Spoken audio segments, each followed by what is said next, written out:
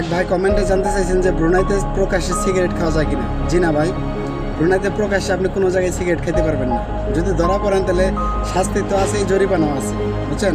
কমপক্ষে তিনশো ডলার, এর বেশি আরও আছে। তো সেক্ষেত্রে আপনি, অনেকেই যারা যারা খায়, তারা লুকিয়ে আর কি চোপে চাপে বাসার ভিতরে বা গোপন স্থানে খায়। প্রকাশ্যে খাওয়ার কোনো সুযোগ নেই। আর বাংলাদেশের মতন বা অন্যান্য দেশের মতন এই দেশে আপনার ওই রাস্তায় যেখানে সেখানে দোকানপাটও এরকম নাই যে আপনি কিনবেন, চা খাইবেন, পান খাইবেন, সিগারেট খাইবেন, এরকম নাই। আমাকে আরেক ভাই কমেন্টে লিখছিলেন যে, ভাই, বাংলাদেশ থেকে কি প্লেনে সিগারেট আনা যায় কিনা? ভাই, এই কাজ ভুলেও করেন না, যদি ধরা পড়েন, মনে করেন যে আপনার ফ্লাইটটাই মিস হয়ে যাবে তো সেক্ষেত্রে ওই এক প্যাকেট সিগারেট আনার আপনার কী প্রয়োজন আছে? এগুলা কাজ কখনো কেউ করবেন না। মানে এক কথায়, ছোট্ট একটা বিষয় নিয়ে যদি আপনি এয়ারপোর্টে ধরা খান বা ওই যে চেক আপ করে আপনার বেল্ট জুতা ঘড়ি, এমন কোনো জিনিস নাই যে চেক না করবে। আপনার সব কিছু খুলে দিতে হবে স্ক্যান করবে, আপনার শরীর চেক করবে।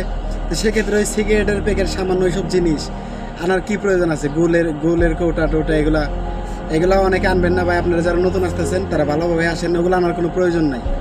কারণ ওই ছোট্ট একটা বিষয়ের কারণে আপনার হয়তো একটা ফ্লাইট মিস হয়ে যাবে বা আপনি আসতে পারবেন না।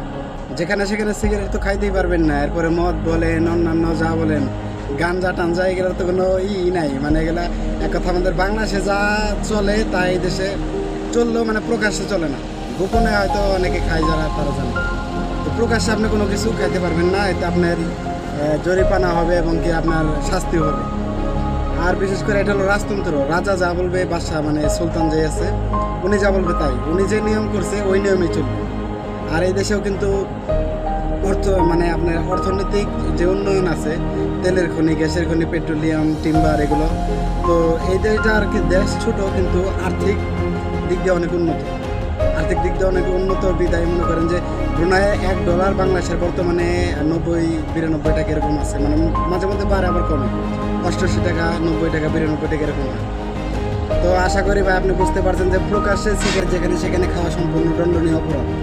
আর যদি আপনি নাতে ধরা পড়েন, তাহলে তিনশো ডলার জরিপানা এর বেশি আরও আছে। যদি প্যাকেট সহ বা এরকম দাপদাপি আছে।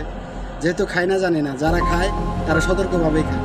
আমাদের বাংলাদেশ, ইন্ডিয়ান, ইন্দোনেশিয়ান, ফিলিপিন, যত লোক বলেন, প্রত্যেক দেশের লোকেরাই সিগারেট খায়। তবে প্রকাশ্যে যেখানে সেখানে রাস্তার মধ্যে দাঁড়ায় আপনার খাইতে পারবেন না। কোনো দোকান থেকে সরাসরি প্রকাশ্যে কিনতে পারবেন না, এরকম। আর এই দেশে আপনার বিশেষ করে হলো এক কথায় মানে রাজতন্ত্র বিধায় আপনার যে নিয়ম সবাইকে মেনে চলতে হবে, কিছু করার নেই। আমাদের বাংলাদেশ যেমন গণতন্ত্র আর এই দেশ হলো রাজতন্ত্র।